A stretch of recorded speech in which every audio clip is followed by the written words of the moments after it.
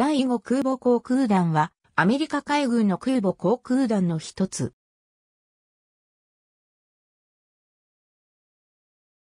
地上基地は日本の神奈川県にあるアメリカ海軍厚木航空施設と山口県の岩国航空基地。搭載航空母艦はロナルド・レーガン。空母航空団の中で唯一アメリカ合衆国本土以外に展開している。艦隊航空戦力として空母打撃群の主兵力となっている。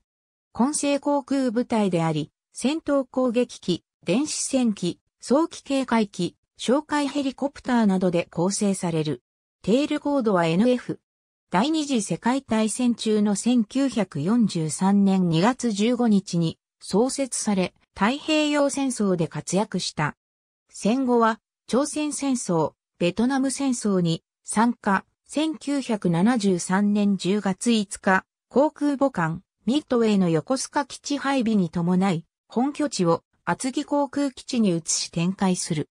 1991年1月の湾岸戦争に参加、2001年10月のアフガニスタン空爆作戦時は特殊部隊支援の形で参加した。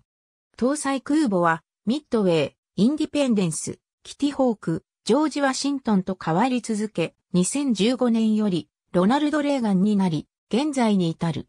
厚木海軍航空施設所在の第51ヘリコプター海洋打撃飛行隊、ウォーローズ・ウォーロワーズはメガヘルツ -60R を文献体単位で艦へ派遣している。ありがとうございます。